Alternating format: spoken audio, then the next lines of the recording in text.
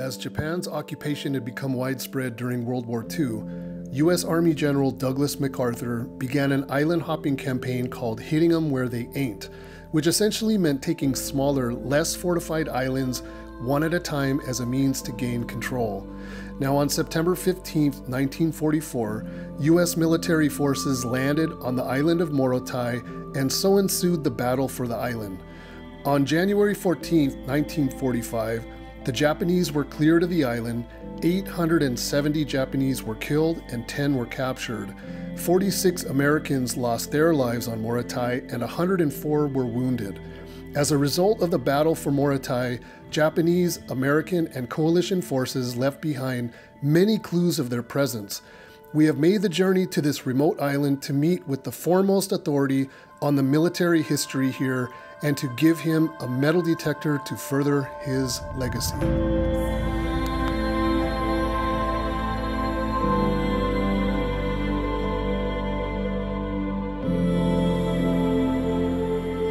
Hello. Selamat pagi. we are here with Mr. Muhlis, and I have a gift for him.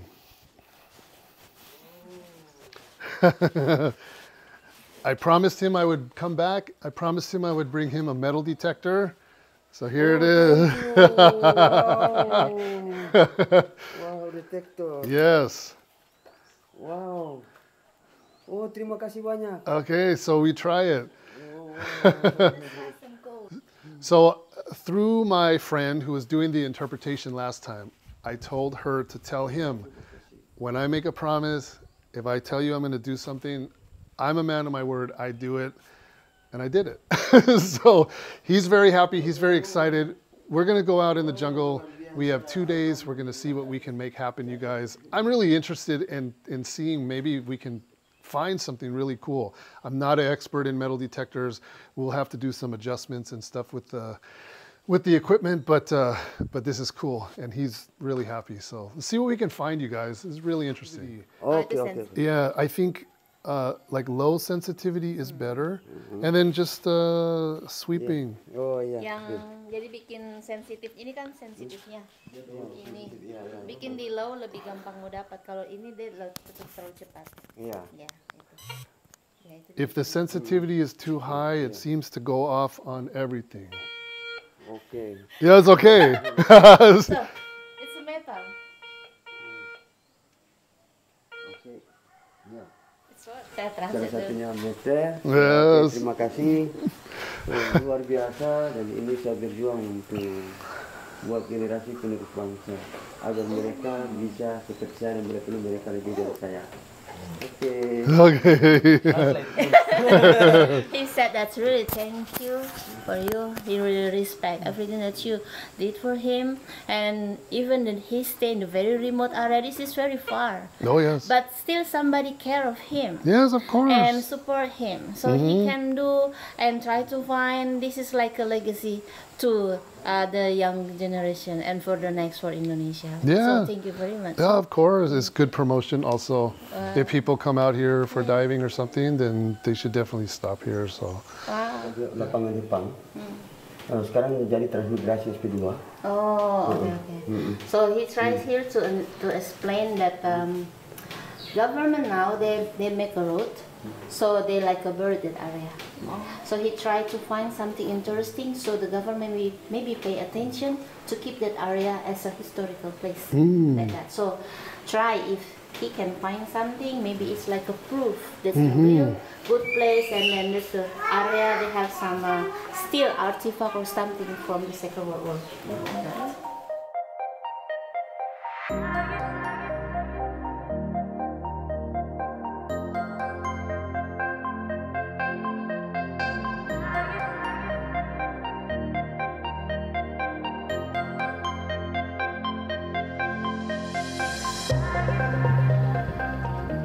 Okay, we are on our way to this uh, Nakamura waterfall area, and I'll explain more of that as we go. But we stopped here. We're borrowing some shovels, I think, in case we need to dig something.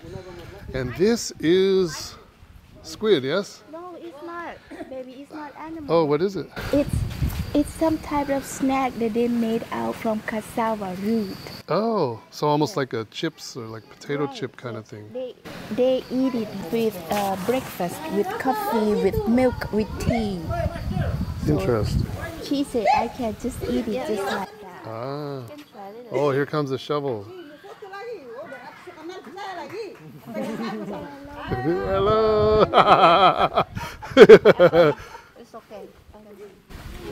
So I'm going to try it. Ta-da. It's like bread. They're bread. No sweet, no flavor, plain. It's just like eating just plain bread. Bread. Like a breadstick with no Yeah. no. Nakamura was an Imperial Japanese Army soldier that was sent to Morotai during World War II in 1944. Shortly after he arrived on the island, the Allied forces arrived and he was separated from his group. He lived alone in the jungle, evading capture throughout the conclusion of the war. The area he lived in was near an Indonesian military Air Force base, and aircraft continued flying overhead long after the war had ended, but Nakamura remained in hiding, fearing capture, and without knowledge of the outside world. Locals knew of his presence and gave him food occasionally. He was eventually coaxed out of the jungle and returned to Japan on January 8, 1975, after nearly 30 years. So we are on the way to where Nakamura was kind of, I guess, rescued out of the jungle or coaxed out of the jungle. So they put up this statue here kind of in honor of him. Uh, I can't read the plaque because it is not in English, but anyway, it's interesting. It plays kind of a key role, I guess, to this village.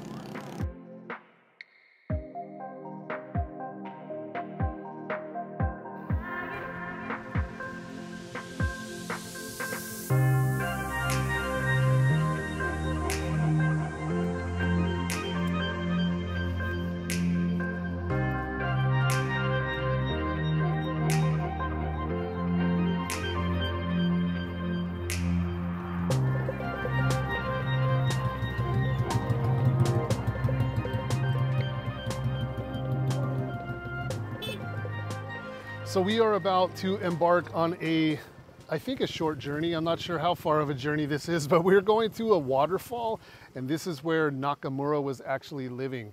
So it's going to be interesting. He's never been able to bring a metal detector into that area, so he's super excited.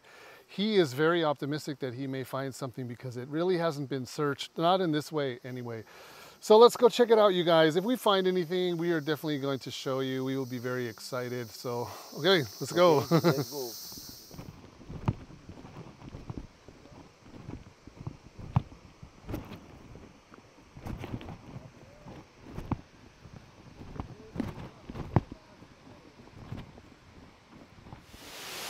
wow, this is an amazing waterfall.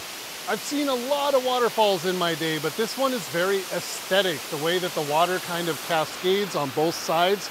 It's really beautiful. It looks like some kind of like a botanical garden or a Japanese garden or something. It's really amazing. Very, very, very beautiful. But this is the area where Nakamura was living for all those years. So we are going to be checking around, as you already know. Hopefully we can find something of interest, but we're going to be climbing up, up, up, and I'm assuming that there's going to be more cascades and more waterfalls the further we go. So I have no idea how high this is going to go, but this is really beautiful.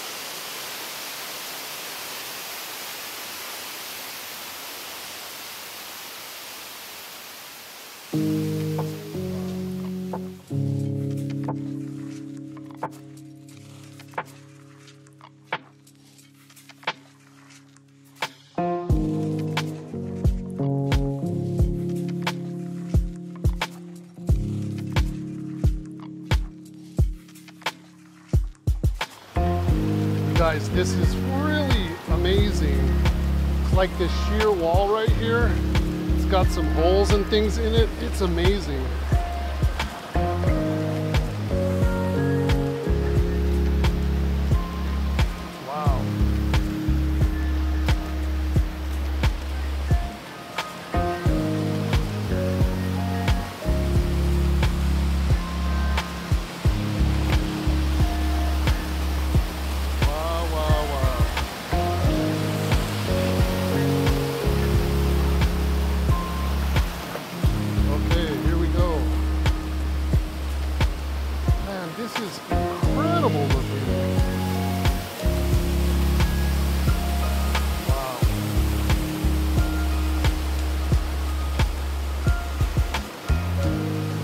So you guys, I am told that this hole here was actually dug out by the soldier Nakamura and he would go in there and he would rest, sleep or whatever.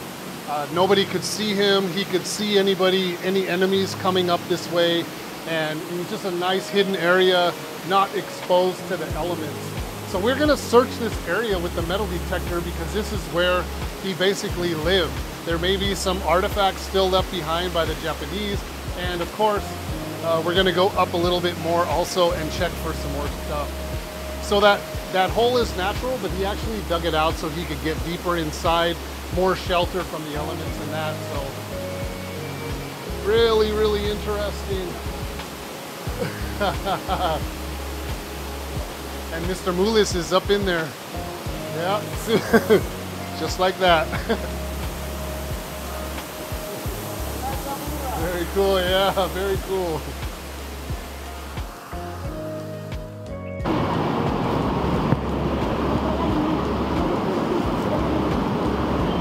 Go up a little bit up. Oh, he's very excited. Yeah.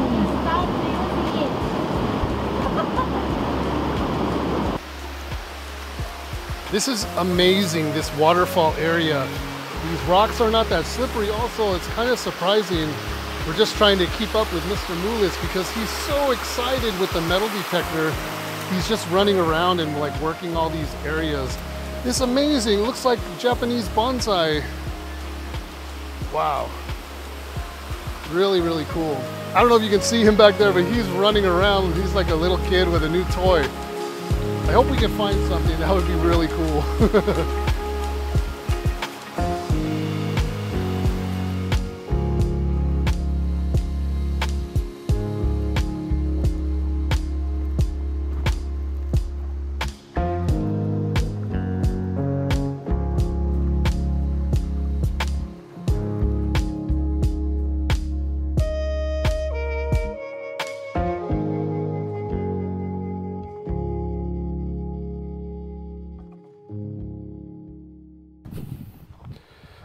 So Mr. Muhlis is checking this field and he has a hit over here. So we're walking over here to see what he's got.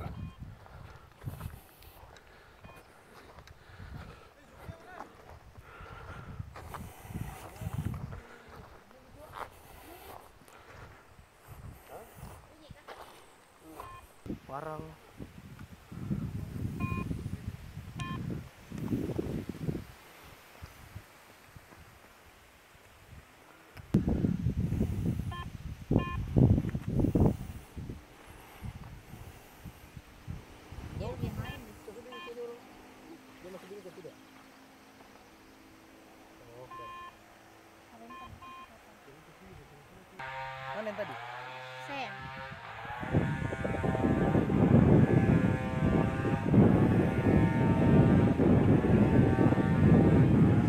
So an amazing day today. The waterfall was really beautiful, very scenic, one of the most beautiful waterfalls we've ever been to. We did scout that area for artifacts with the metal detector. We didn't find anything. It was kind of a long shot, but we did try. Afterward, we put the metal detector to the test in that cleared field, and it worked really, really well.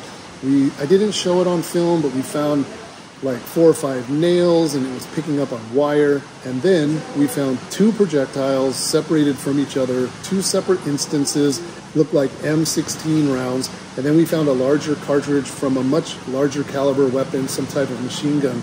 So the metal detector is working flawlessly, very impressed with it. And we had a lot of fun. We could have stayed out there for a long time, but it was getting late. So tomorrow, also, it sounds amazing. Two caves, one cave is where the Japanese hid from the Americans, bats and birds inside. No idea what we're going to find, but we're going to check it also for artifacts. And then there's a second cave afterward that's easier access, but there's something very, very interesting that they said that they seen in the cave. And we're bringing our snorkel equipment if that gives you guys any clue. So you're not going to want to miss that. Dinner tonight looks amazing. We have a fried fish, we have chicken, vegetables, rice, and of course, spicy sambal. So we're gonna eat, and that is it, and we'll see you guys tomorrow.